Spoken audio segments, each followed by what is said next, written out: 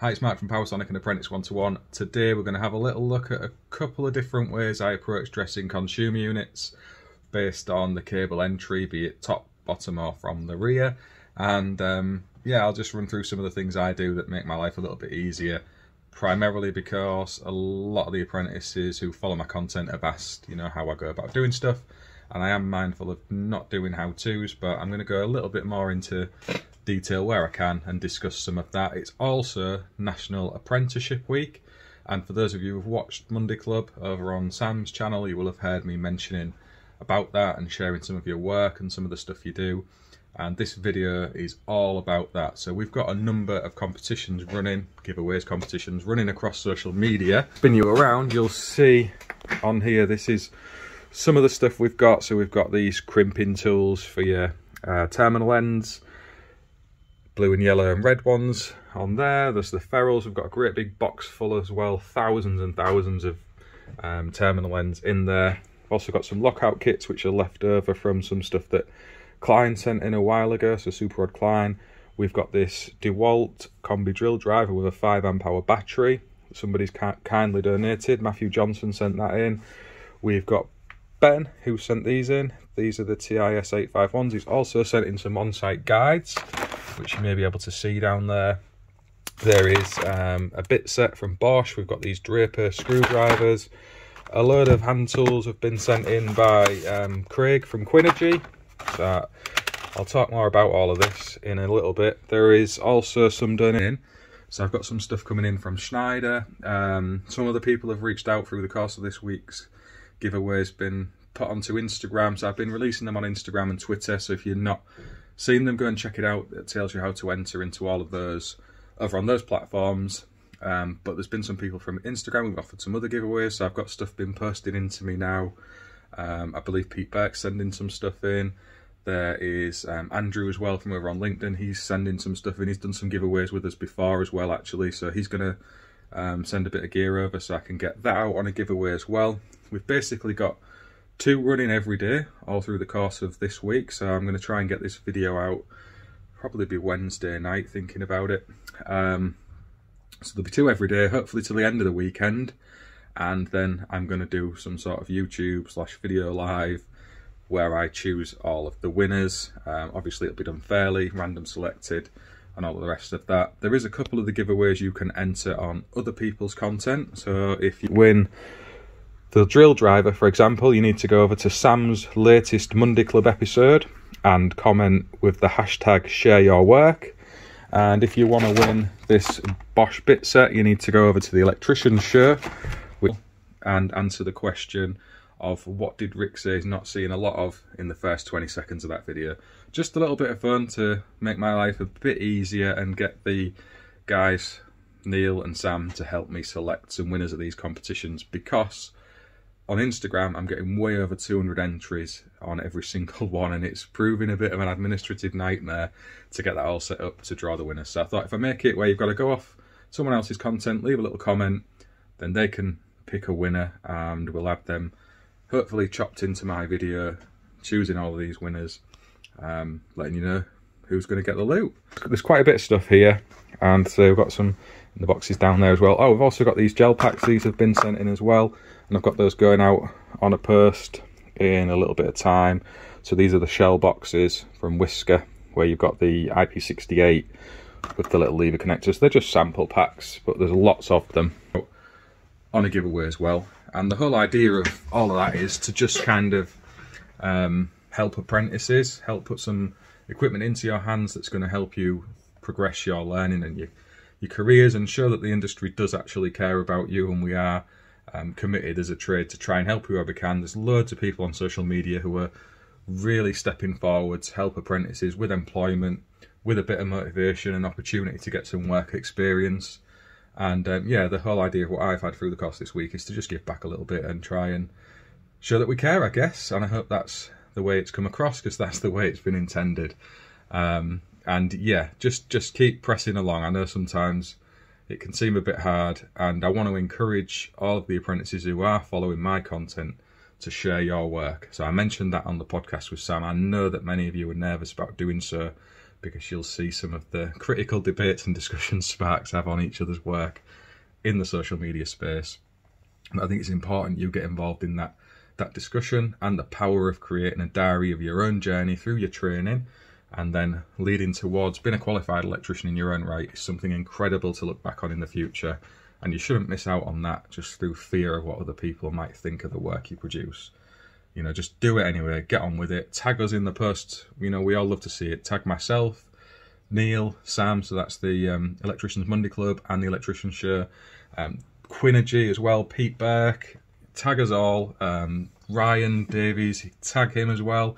Um, he's been sharing some of the stuff that I've been up to through the course of this week. Mike from Lured Out, Residual Current. You know, we all like to see what you guys are doing out every day and the the journeys you're on. Um, so yeah, Matthew Taylor, one we gave a shout out to, who does an incredible job of that. So be like Matthew, share your work, get it out there. Let's get on with this video though. I'm going to show you a few little tips on how I set up consumer units. I hope you might find it useful and watch out for the draws for all the giveaways coming later in the week. Okay, so we're going to start on the test board. You'll see here I've got a Lewden split load board I've repurposed and we're going to pretend it's a main switch RCBO board.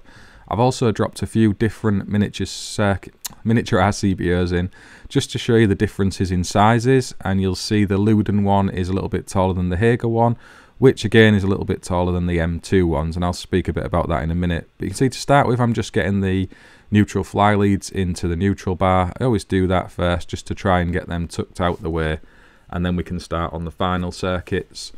Um, with these ones, if we're going for top entry, which is what this board is, top and rear entry tend to sort of be the same.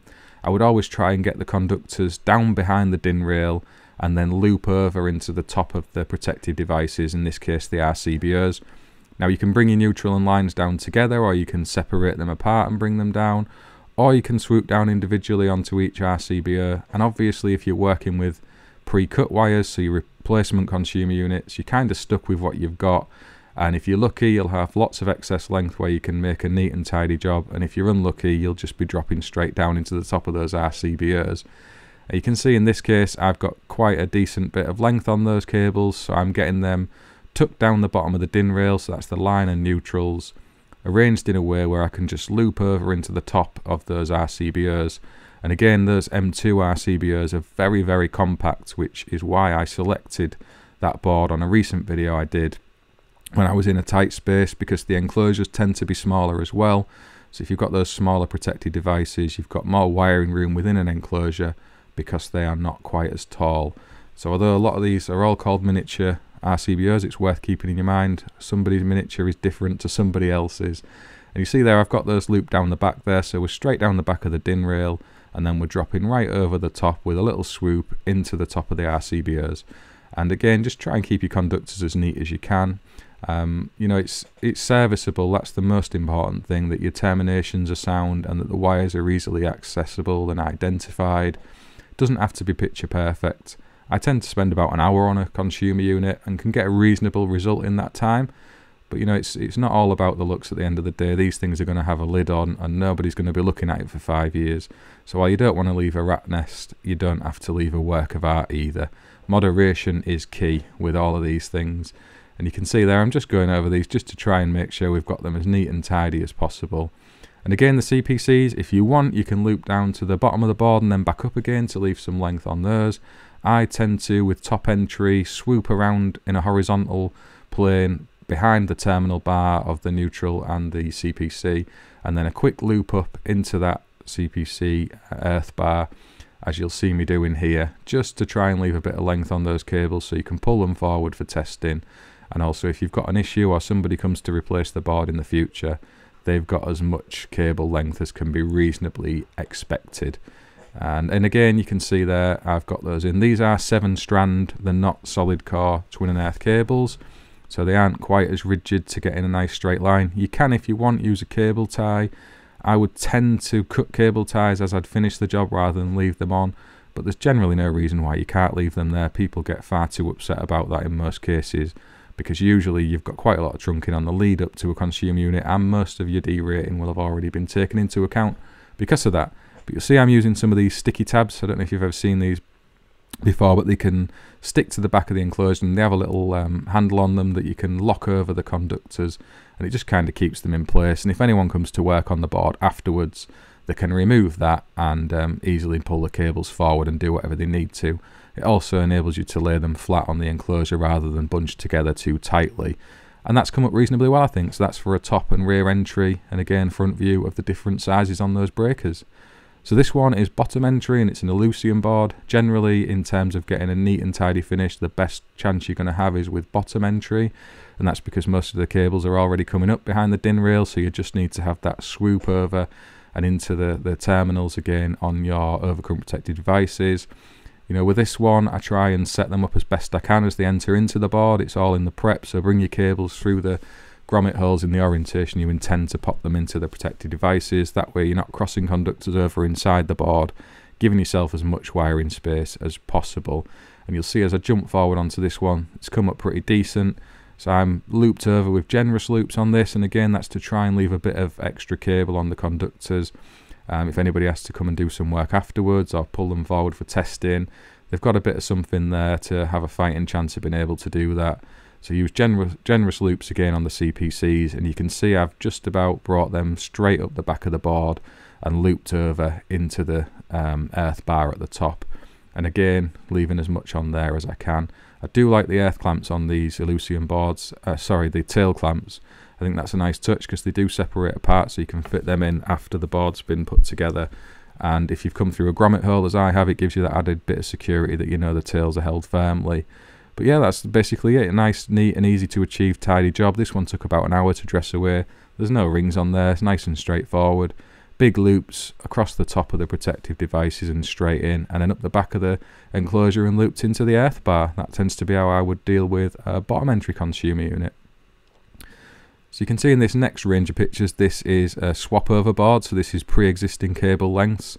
And with that one, you're kind of tied to what you've got. So you can see with the cooker circuit there, it is what it is. There's not a lot of extra length to try and reposition that into the um, into the terminals any different way to to what you can achieve. To be totally truthful, so they kind of drop down with a nice loop as best you can, and then obviously your CPCs loop around the top.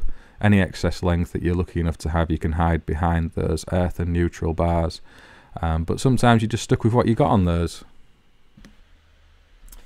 So I hope you found that mildly interesting. I just wanted to have a quick run through a couple of consumer units, show you some of the differences in the way the cables will dress together when you are entering from the top or the bottom of an enclosure.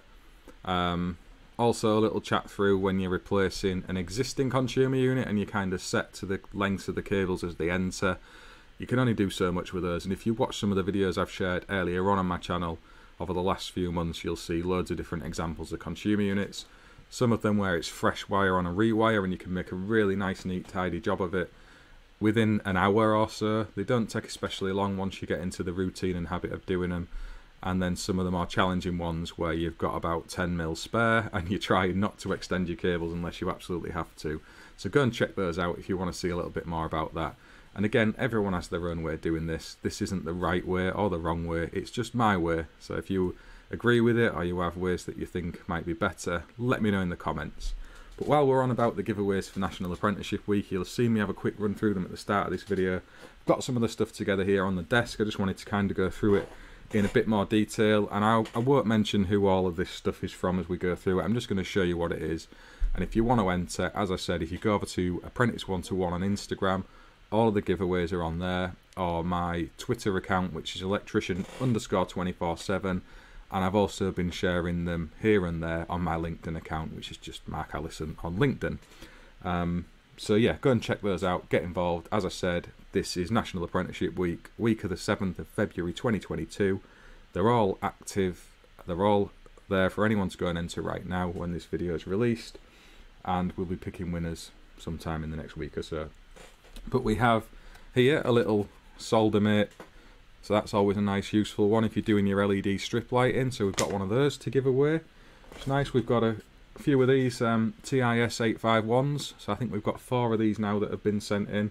So they're going out on giveaways as well, which are great. These are the, the self-proving ones. So they're um, don't know that's coming up onto focus because I'm on my webcam here, but that's the GS38 compliant one, and they do do um, approving test. So it's not the equivalent of approving unit, I don't believe, but they will show you that they are operational and working, you know, without a separate approving unit, just not to the same equivalent.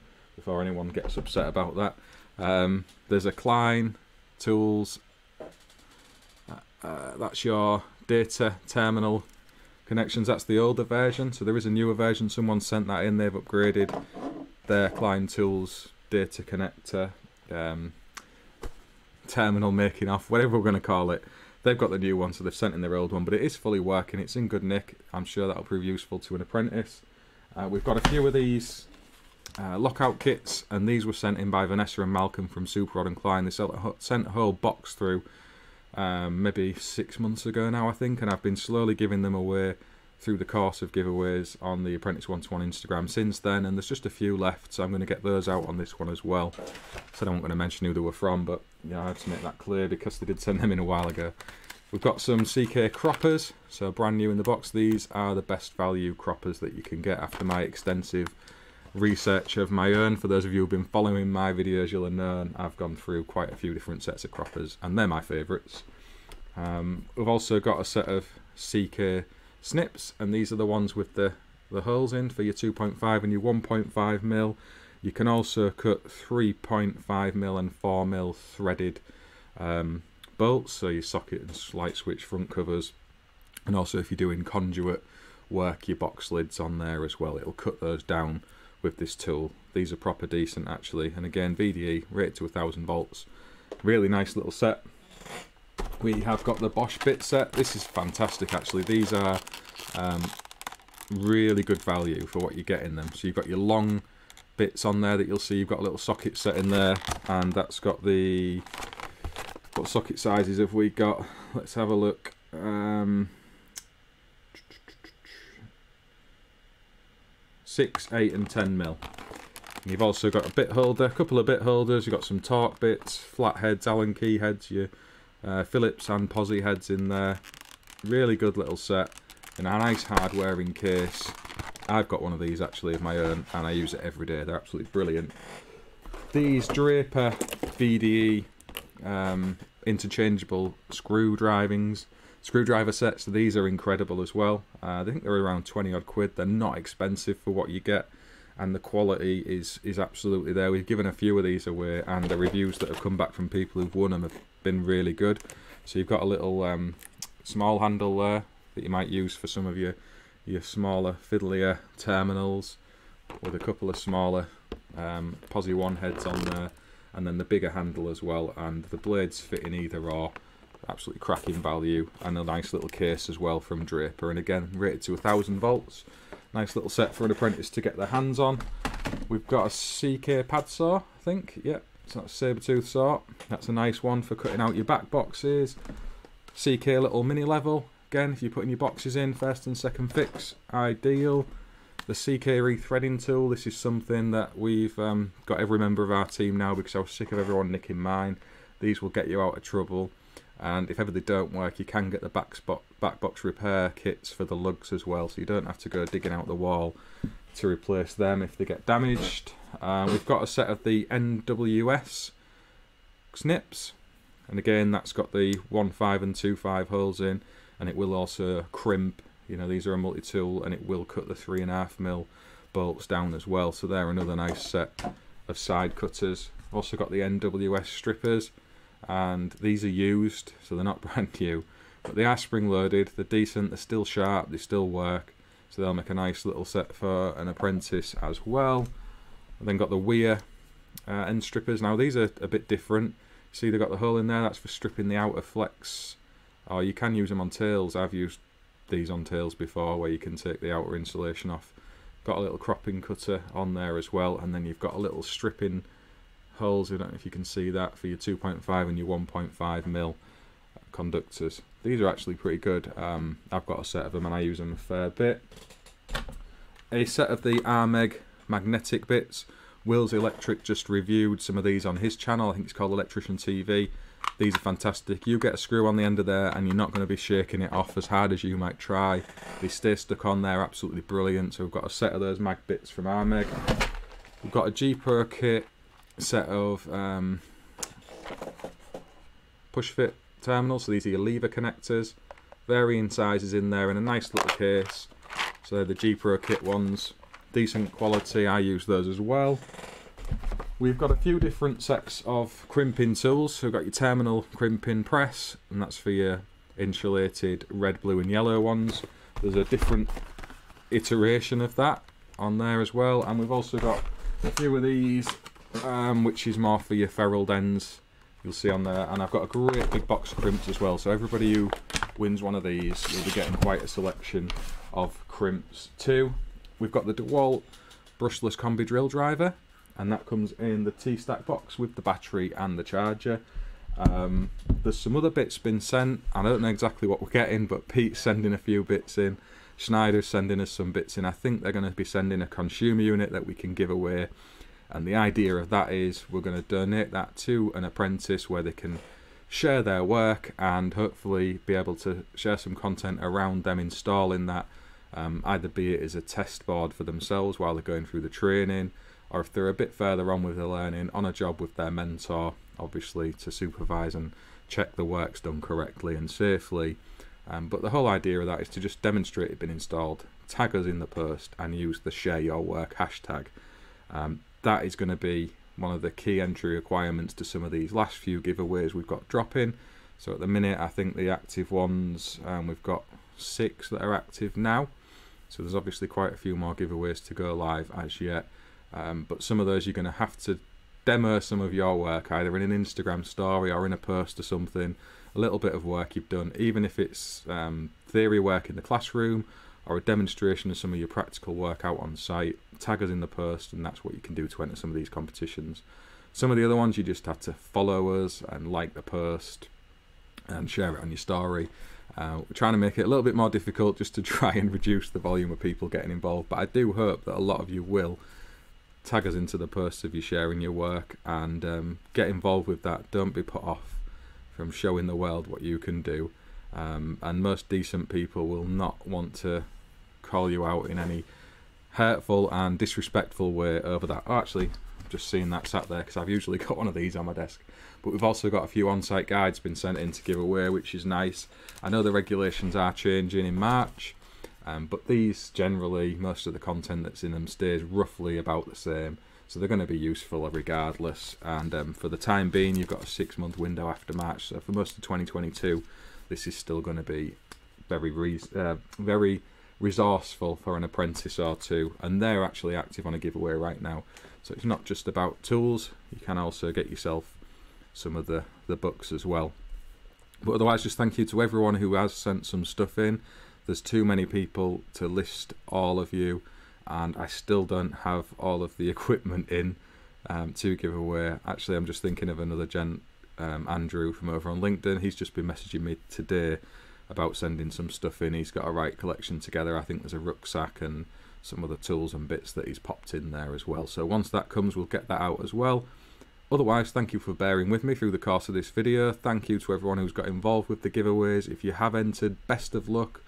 It is all going to be totally random, so messaging me how brilliant you think I am is not going to increase your chances of winning. So there's absolutely no point in doing that. and otherwise, just thank you for watching. Back to the regular content. I've got quite a bit of stuff recorded already from the usual EV charge point installs, a few consumer unit replacements, and some positive input ventilation systems. I did a video on one of those a while ago. I don't think there's many YouTube people who've dropped content out on those, so I'm going to do a couple more on them, go into a bit more detail, and they'll be coming up soon as well. Otherwise, thank you for watching this video. I will catch you on the next one. Stay safe, have a brilliant week, and I hope you got involved in your college's efforts for National Apprenticeship Week. Catch you on the next one.